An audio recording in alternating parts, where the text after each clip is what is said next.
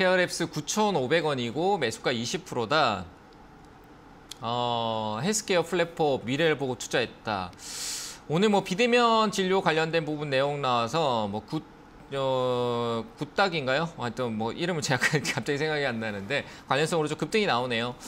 자 일단은 9,500원이다라는 부분에서 지금 오늘 올라왔는데 어, 오늘 흐름성에서 올라온 거는 긍정적인 것 같아요. 예, 케어랩스는 이전에 작년에 하반기 때 좀 이슈를 몰이를 해왔던 부분들이 있는데 거래를 좀더 만들 필요도 있을 것 같고요. 일단 비대면 쪽에 관련된 재료가 단발성은 아닌 것 같아요. 그래서 앞으로 우리가 마스크 해제라는 부분과 지나가고 정책적으로 A가 나오고 법안에 대한 부분들 또 정리를 하고 하는 과정에서 또 많은 얘기가 또 이슈가 한 번, 두 번 일정으로 나올 것 같거든요. 그래서 저는 오를 수 있는 부분 여전히 있는 것 같아요. 근데 다만 이게 내려갔다 올라왔다는 부분에서 저는 비중 축소를 하고 내려왔을 때 비중을 다시 늘리는 전략도 참 좋은 것 같거든요. 근데 이걸 다 들고 가기보다는 좀 줄이시는 게 좋을 것 같습니다. 비중 일부만 좀 축소하시고요.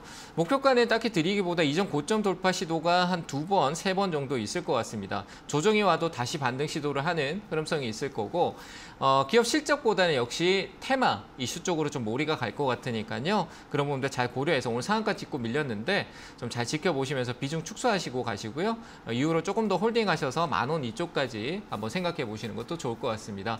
다만 이 테마 일정이 일정 기간 한 3개월 정도 안에서 오르락내리락 반복할 수 있는 부분이니까요. 시세 반등 나올 때는 잘 체크해 주셔야 됩니다. 자 그렇게 얘기 드리고 저는 일단은 홀딩 쪽 의견을 드리도록 하겠습니다.